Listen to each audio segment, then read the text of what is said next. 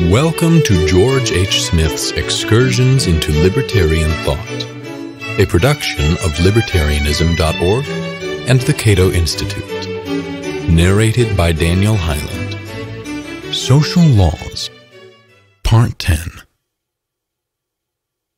In The Division of Labor in Society, Emile Durkheim's first book, 1893, we find an extended criticism of Herbert Spencer's notion of a voluntary society of contract, in contrast to a coercive society of status, labels that Spencer took from a book, Ancient Law, 1861, by the legal historian Sir Henry Sumner Maine. Although Durkheim was influenced by Spencer and adopted some of his basic ideas, he disagreed in a number of important respects with Spencer's analysis of a contractual society. Two issues will occupy most of my attention vis-a-vis the stress that Spencer put on self-interest in a free contractual society, and Spencer's insistence that government in a free society should confine itself to the negative functions of protecting individual rights and enforcing voluntary contracts. In the course of exploring Durkheim's objections to Spencer's points, I will discuss some broad theoretical issues in sociology, such as what we mean, or should mean, when we speak of society, and some problems that arise when we attribute to society certain causal powers, as Durkheim frequently did. Durkheim vehemently disagreed with Spencer and other classical liberals that the pursuit of individual self-interest will result in a spontaneous social order. He wrote, If mutual interest draws men closer, it is never more than for a few moments. It can only create between them an external bond. In the fact of exchange, the various agents involved remain apart from one another and once the operation is over, each one finds himself again reassuming his self in its entirety. The different consciousnesses are only superficially in contact. They neither interpenetrate nor do they cleave closely to one another. Indeed, if we look to the heart of the matter, we shall see that every harmony of interests conceals a latent conflict, or one that is simply deferred, for where interest alone reigns, as nothing arises to check the egoisms confronting one another, each self finds itself in relation to the other on a war footing. And any truce in this perpetual antagonism cannot be of long duration. Self-interest is, in fact, the least constant thing in the world. Today it is useful for me to unite with you. Tomorrow, the same reason will make me your enemy. Thus, such a cause can give rise only to transitory links and associations of a fleeting kind. For in a contract, not everything is contractual. The only undertakings worthy of the name are those that are desired by individuals, whose sole origin is this free act of the will.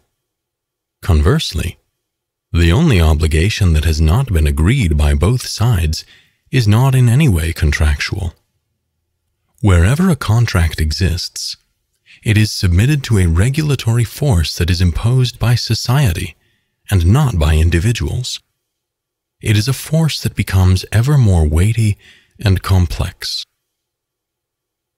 Durkheim also insisted, contrary to Spencer, that the legal system of a society dominated by voluntary contractual agreements cannot rest on negative regulations alone. Such a thing is quite impossible, according to Durkheim.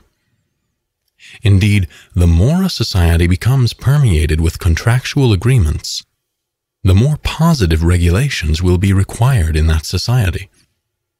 A legal system, according to Durkheim, will specify provisions for a valid contract that even the contracting parties cannot dispense with by mutual consent.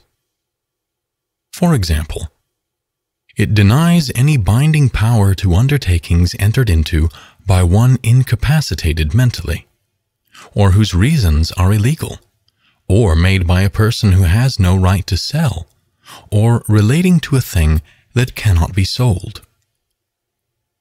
Moreover, a legal system, not the contracting parties, will determine the formal conditions of a valid contract.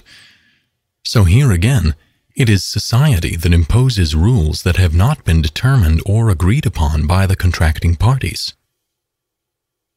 An important function of contract law is to determine the legal consequences of contracts with effects that could not be foreseen or avoided beforehand. Those legal consequences, which are mandatory, are determined not by individuals, but by society and tradition, as manifested in law. Durkheim concluded, The law of contract therefore exercises over us a regulatory action of the utmost importance, since it determines in advance what we should do and what we can demand. Summing up, therefore, the contract is not sufficient by itself, but is only possible because of the regulation of contracts, which is of social origin. This is implicit, firstly, because the function of contract is less to create new rules than to diversify pre established rules in particular cases. Secondly, because it has not and cannot have any power to bind, save under certain conditions that need to be defined. Thus, in any case, the role of society cannot be reduced to a passive one of seeing that contracts are carried out. It also has to determine in what conditions they are capable of being executed and, if the need arise, restore them to their normal form. Agreement between the parties concerned cannot make a clause fair which of itself is unfair. There are rules of justice that social justice must prevent being violated, even if a clause has been agreed to by the parties concerned. Durkheim, to repeat, sought to establish two points. First, self interest alone is insufficient to sustain a society of contract, or a dependable social order of any kind, since the conflicting interests of individuals will frequently cause them to violate their agreements. A more stable moral foundation is required, a foundation rooted in moral norms that no individual can avoid or change. Second, contrary to Spencer, a free society based on voluntary contractual relationships cannot sustain itself solely by negative regulations and laws that merely protect the rights of individuals. Rather, a government must also enforce positive regulations relating to contracts in the manner described above.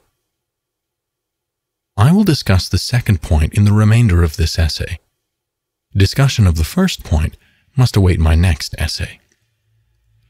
We should distinguish, as Durkheim did not, informal agreements that are not legally enforceable from those formal agreements that are legally binding and so may be coercively enforced. We also should distinguish, as Durkheim did not, the preconditions of a legal contract from the obligations incurred after those conditions are met. When Herbert Spencer and other classical liberals spoke of a society based on contract, they were not necessarily referring to legally binding agreements. Rather, a society of contract was viewed as a society in which individuals can engage in non invasive, voluntary interaction based on mutual consent without any coercive interference from government. The term contract, in this tradition, was a generic label for all such voluntary associations. It did not refer only to formal, legally binding agreements. And when Spencer argued that a government in a society of contract should be restricted to negative functions, he meant that the government of a free society should restrict its domestic activities to protecting the right of individuals to engage in voluntary interactions with other individuals agreements that permit people to pursue their own goals as they see fit, rather than having their actions and goals coercively dictated by government. Problems of the sort listed by Durkheim will arise even with informal agreements. In some cases, there may be a blurred line between mutual consent and an association in which one party was subjected to unjust duress. Another problem, one more among many, is what external signs must be given to signal consent. We find this problem in contemporary discussions of date rape. It is the job of a legal system and courts of law to settle these and similar controversies. Given the complexity of social relationships, no general rule can possibly anticipate every conceivable problem that may arise in those gray areas on the border between voluntary and coercive associations. Such matters require the good faith application of general rules to particular cases. They require, in other words, judgments, specifically legal judgments, in which the pros and cons are assessed and a final decision is rendered by an impartial arbiter guided by abstract rules. Informal contracts. Durkheim was obviously correct when he maintained that a legal system will ultimately determine which agreements are enforceable and which are not. Spencer would have agreed with this claim, but he would have insisted that individuals, not tradition or some vague entity called society, will determine the particulars. We may say until we are blue in the face that society determines this or determines that, but in the final analysis, only individual human beings, not society, can make decisions and undertake actions. We may not know which individuals in the distant past established a precedent or embedded a custom or convention more deeply into the social fabric. But we do know that such individuals existed, even if we know nothing else about them. There was never a being called society that stalked the land and made things happen. In addition, the particular identities of those anonymous individuals are usually irrelevant to our understanding of social phenomena which is why we sometimes speak of society instead of mentioning specific people. Society typically denotes those anonymous others that we know are, or were, acting purposefully to achieve goals, but whose concrete identities we do not need to know in order to understand the social outcomes of their actions. As I explained in a previous essay, what is usually essential to our understanding of social phenomena is knowledge of the social or political roles played by individuals, not the particular and unique attributes of those individuals. When we say that the police enforce drug laws, we do not mean that some weird entity called the police goes around arresting people. Rather, we mean that anonymous individuals acting in the legally defined role of police officers enforce drug laws. And in calling those people anonymous, we mean more than that their identities, in many cases, are unknown to us. We also, and more importantly, mean that their personal characteristics are irrelevant to the point we wish to make.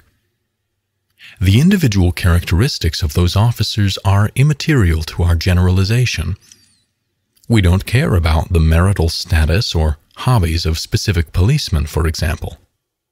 So we employ the abstraction police instead of enumerating and describing the officers individually. Indeed, the latter process would actually obscure the relevant point, namely, that in their role as police officers, certain people have the legal authority to arrest drug consumers, a privilege that most people lack. What matters here is the legal authorization per se, not the individuals vested with that authority. For it is the legal authorization that defines what we mean by policeman. The same reasoning obviously applies to broader abstractions, such as society, and state. What are we to make of Durkheim's claim that the role of law in defining what does and does not qualify as a valid contract constitutes a type of positive regulation of the sort that Spencer opposed? Well, since Spencer never denied that a legal system should determine the preconditions of a formal contract, this controversy reduces to a verbal quibble. But we should keep in mind the difference between defining a formal contract and enforcing that contract after the preconditions, as established by the legal definition, have been satisfied. A legal system may stipulate that contracts formed with young children are not enforceable. Precious few, if any, liberal individualists would protest this proviso. Is this kind of stipulation positive or negative in character? Whatever term we may wish to use, I cannot see how it makes any substantive difference. It certainly doesn't affect the points Spencer wished to make about a society of contract and the proper role of government in a free society. Thank you for listening to Excursions. To learn more about libertarian philosophy and history, visit www.libertarianism.org.